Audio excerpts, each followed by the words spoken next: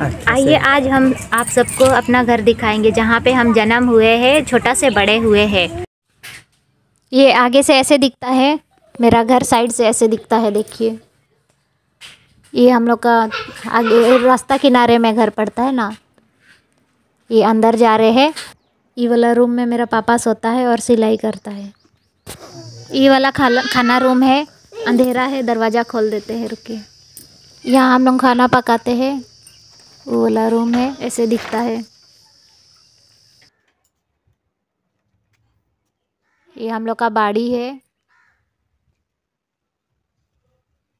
Video इसीलिए बना रहे हैं, बहुत कोई बोलते हैं ना कि गरीब है, लेकिन बड़ा घर रहता है उन लोगों का तो इसीलिए वीडियो दिखा रहे अगर किसी को डाउट है कि ऐसा नहीं है तो आदित्यपुर टू रोड नंबर पंद्रह सीधा कुलुपटांगा वाला रोड में सीधा देख, देखने से मेरा घर दिखाई देगा, रास्ता किनारे में ही है। ये हम लोग का बाड़ी है।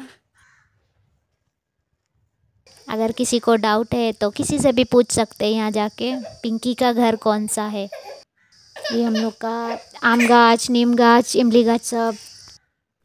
शनिवार को ऑपरेशन होगा, इसलिए हम एमजीएम आए हैं। ऑपरेशन करेगा तो पकड़ देने के लिए आप लोग देखे होंगे पिंकी का, मेरा वाइफ पिंकी का घर, किस तरह है उसका घर।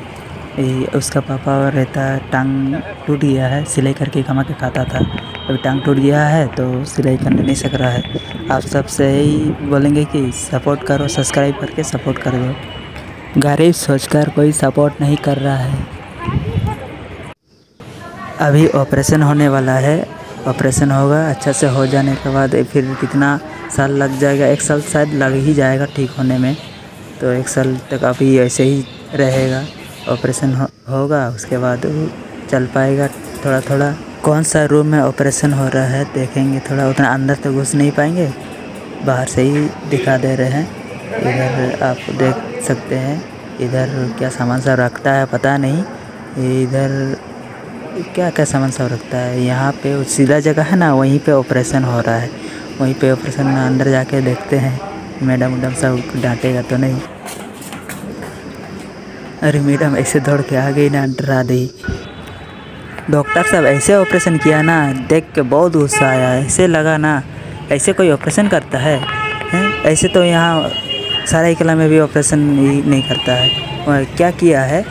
ड्रेसिंग करके पट्टी लगा के छोड़ दिया है। ऐसे कोई ऑपरेशन करता है? यहाँ वैसे अच्छा तो सारा किला लेके आ जाते हम। किला में ड्रेसिंग करा देते। ऐसे कोई ऑपरेशन करता है? हम सोचे अच्छा सा ऑपरेशन करेगा। रट तो खोल के प्लास्टर कर देगा। वो लगा हुआ रट से दिक्कत हो रहा है। फिर ये डीएस से बात करने गए। तो डीएस फिर बोल रहा है कि डॉक्टर से बात करो। डॉक्टर से बात किए तो डॉक्टर साहब बोल रहा है कि उसी से ठीक हो जाएगा। इसी से कैसे ठीक हो जाएगा? पहले भी तो ऐसे ही था, इसी से ठीक हो जाता। फिर वही पट्टी लगा के छोड़ दिया है। ऐसे सरकारी जगह में बहुत दिक्कत है। प्राइवेट में जाओ और इलाज करो। आधा अधूरा करके यहाँ छोड़ देता है। यहाँ सब पेशेंट सब ऐसे ही। सब पेशेंट को आधा अधूरा इलाज कर देता है और छोड़ देता है। जाओ प्राइवेट में जाओ, उसके बाद पूरा अच्छा से इलाज करना है तो प्राइवेट में जाओ। देख रहे इतना सारा पेशेंट है। आधा इलाज करके छोड़ दे रहा है।